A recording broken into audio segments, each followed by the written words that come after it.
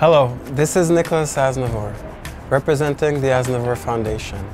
It is my honor to be a Goodwill Ambassador for the Aurora Forum. Issues on science, technology, humanitarianism, social challenges, and education will be discussed at the Aurora Forum from the 14th to the 21st of October.